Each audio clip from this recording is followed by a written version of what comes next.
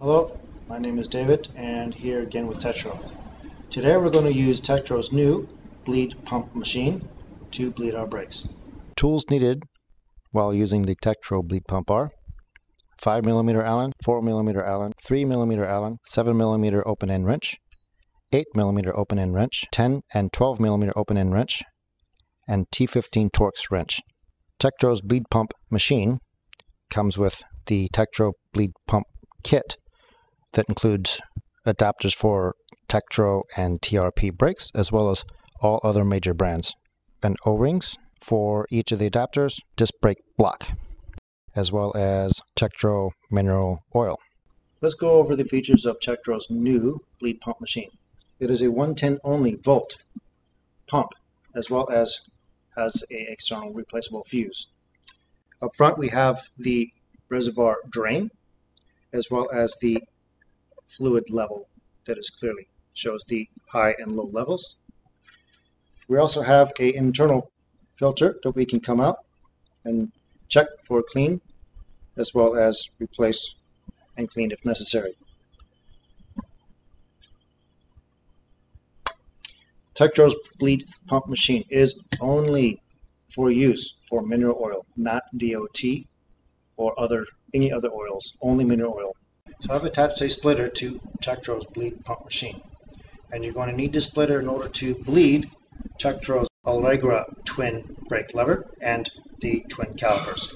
Okay, using the splitter on the Tektro bleed pump machine, I'm going to attach to both left and right bleeding hoses, making sure you're pushing the hoses all the way in and holding the connector back like so. So we're going to use an M7 adapter onto the bleeder hose. It's easily attached and comes in your Tektro bleed kit. Let's prepare so that we can attach the bleeding hose to the caliper.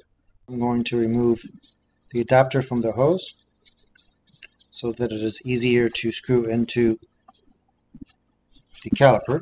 Then taking my M7 wrench, releasing and removing the hose port screw and then quickly attaching the adapter back into the caliper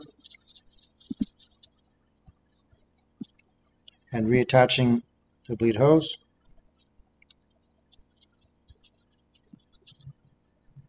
making sure everything is nice and tight.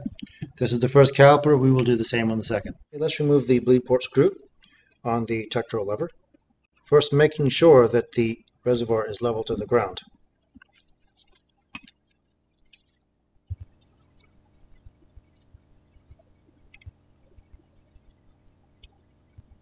Carefully remove the screw and now let's attach the adapter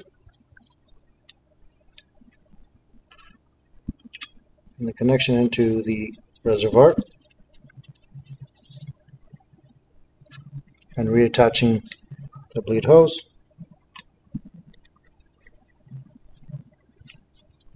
Making sure everything is nice and finger tight. Do not torque these very high. It is not necessary. Okay, now we're getting ready to go ahead and flush the system. I've already made sure that all the connections are nice and finger tight.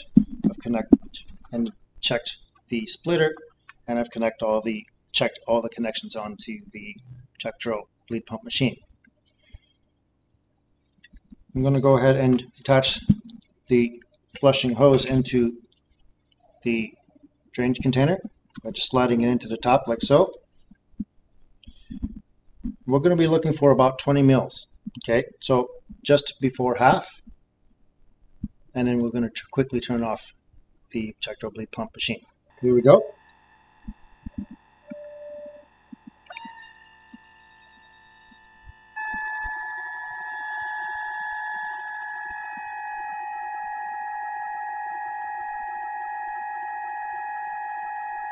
I'm checking all the connections to make sure that I don't have any leaks anywhere.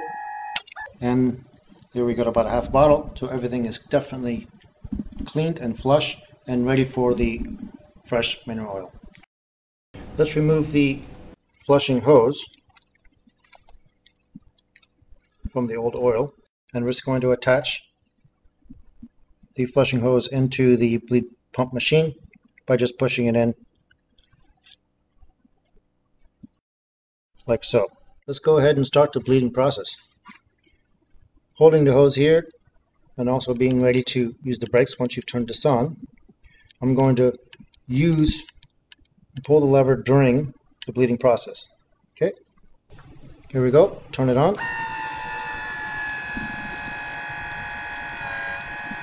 Okay, just going to keep pulling the lever up, compressing the system, make sure that all the bubbles are out. Looking pretty good. Looks like we've cleared all the bubbles. I'm going to turn, go ahead and turn off the bleed pump machine. Okay, let's remove the bleed hose from the lever reservoir. First I'm doing the screw here to release and then I can easily turn off turn out the reservoir connector out of the reservoir like so and using T15 Torx wrench quickly installing the bleeder hose screw like so. Let's remove the bleed hose from the caliper, loosening up the compression part so that this turns, and then removing the adapter from the bleeding port.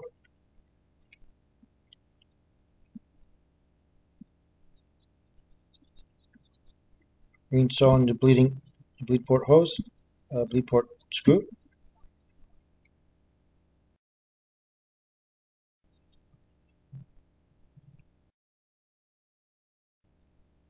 Making sure that it's nice and tight.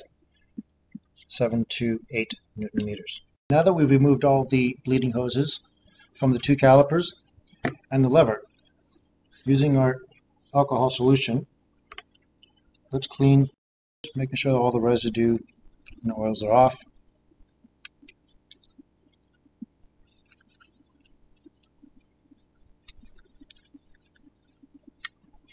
As well as the lever reservoir, making sure there's no residue to collect dirt.